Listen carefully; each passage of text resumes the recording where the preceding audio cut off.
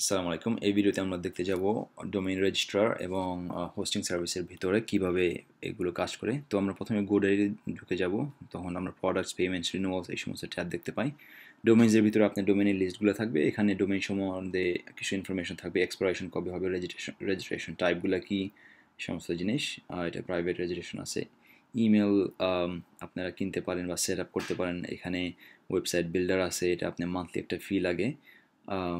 Online book keeping মানে বেশিরভাগ জিনিসই এটা আপনাদের এখানে দরকার হবে না। তো আমি শুধু এমনি দেখাচ্ছি, যদি আপনারা গোডারি ডট কম সিলেক্ট করে থাকেন আপনার ডোমেন রেজিস্ট্রার হিসাবে। এরপরে ট্যাবে আছে পেমেন্টস পেমেন্টস আপনার টাকা পয়সার যে সেট আপটা করেছেন বিলিং ইনফরমেশন কীভাবে ব্যবহার পে করতে চাচ্ছেন অর্ডার হিস্ট্রি সমস্ত জিনিস। এখানে নেক্সট বিলিং কবে হবে পেমেন্ট আপনি ভিসা ব্যবহার করবেন না মাস্টার কার্ড না পেপ্যাল অটোমেটিক রিনিউয়ালটা এটা আপনারা অন অফ করতে পারেন। আমি প্রেফার করি অফ করা। এটা নাহলে এটা সবসময় আপনাকে প্রতি বছর চার্জ করে যাবে।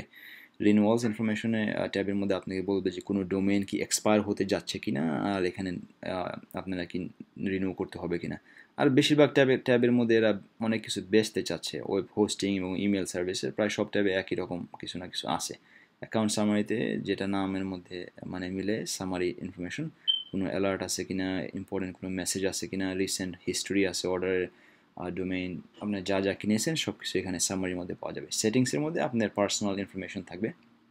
নাম অ্যাড্রেস ঠিকানা ডোমেনের ব্যাপারে যে রেজিস্ট্রেশনের ডিফল্ট অ্যাড্রেসগুলো আছে সবগুলো এখানে থাকবে। এখানে আপনি বদলাতে পারবেন ইচ্ছা করলে। তো আর রেফারে ফ্রেন্ড ফাইনালি যদি আপনি ফ্রেন্ড রেফার করেন তাহলে একটা ডিসকাউন্ট পাবেন। এটা হলো ওয়ান অ্যান্ড ওয়ান ডট কমে আপনি যদি এটা চুজ করে থাকেন রেজিস্টার হিসাবে, আর লগ ইন করার পর আপনার ডোমেনের লিস্টগুলো এখানে আসবে। তো আমরা আমাদের ডোমেনে চলে যাই। ডোমেনে যাওয়ার পরে প্রথম ট্যাপটা হলো ডোমেইন অ্যান্ড ওয়েব স্পেস এই মডিউলটা সবচেয়ে বেশি ইম্পর্টেন্ট এটার মধ্যে ডোমেইন সম্পর্কে ডিএনএসের সেটিং সম্পর্কে ডোমেন লক করার সম্বন্ধে পুরো সেটিংস এখানে আছে। Second tap my data obviously এটা আপনার information address password payment settings এই সমস্ত জিনিস এখানে বদলাতে পারবেন ইচ্ছা করলে। আর কোনো মেসেজ যদি থাকে অ্যাকাউন্ট সম্পর্কে যে আপনার অ্যাকাউন্টে কী কী পেমেন্ট হয়েছে কি কিনা কোনো বদলিয়েছে কিনা, ওই সম্বন্ধে ইনফরমেশন পাবেন। ওয়েবসাইট অ্যাপ্লিকেশন ওয়েবসাইট বিল্ডার এটা যদি আপনি ওদের পে করতে চান, তাহলে এটার বিল্ট ইন একটা অ্যাপ্লিকেশন আছে ওয়েবসাইট বানানোর জন্য। তো বাস আপনারা কনফিউজ হয়ে যান না, এখানে অনেক ফিচার আছে, এগুলো দরকারও হয় না। কমিউনিকেশনের জন্য ইমেল অ্যাড্রেস বানাতে পারেন। তো ইমেল অ্যাড্রেস আমি পরে দেখাবো, আপনারা কীভাবে হোস্টিং অ্যাকাউন্ট থেকে বানাবেন। ডোমেনি থেকে বানানোর দরকার নেই এই মুহূর্তে। এরপরে ট্যাবের মধ্যে আছে ডাউনলোডস অ্যান্ড হেল্প এবং ফাইনালি ই কমার্স তো এগুলো বাস দেখিয়ে যাচ্ছি আপনাদের, এটা আপনারা কনফিউজ হয়ে না বলুন। Mobile apps downloads help content আসলে কোনো কিছুরই দরকার নেই এখানে। আপনার প্রথম যারা ওয়েবসাইট বানাতে যাচ্ছেন ই কমার্স এটা যদি আপনারা ওয়েবসাইটে কোনো কিছু বেচতে চান, তাহলে বেচতে চান চান, তাহলে এটা দরকার হতে পারে, তাছাড়া দরকার নেই। তো বাস এটা ওয়ান অ্যান্ড ওয়ান গেল। নেক্সট হলো ব্লু হোস্ট এটা হলো হোস্টিং সার্ভিস আমি প্রেফার করি, আমি লাইক করি এটা। হোস্টিং সার্ভিসের ভিতরে এরকম দেখতে।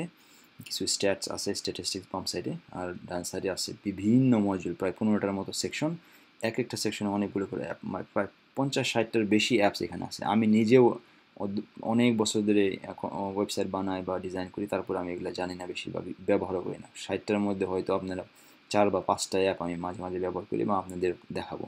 Database tools MySQL database মানে এখানে অসংখ্য আছে। এটা সবার জন্য প্রযোজ্য নয়। ব্যান্ডউইট আপনি দেখতে পারেন স্ট্যাটিস্টিক্সের মধ্যে এবং লেটেস্ট ভিজিটর ফাইল ম্যানেজমেন্টের মধ্যে আপনি ফাইল ম্যানেজার ব্যবহার করবেন মেলের মধ্যে ইমেল অ্যাকাউন্ট ব্যবহার করব আমরা, দেখাবো আপনাদের।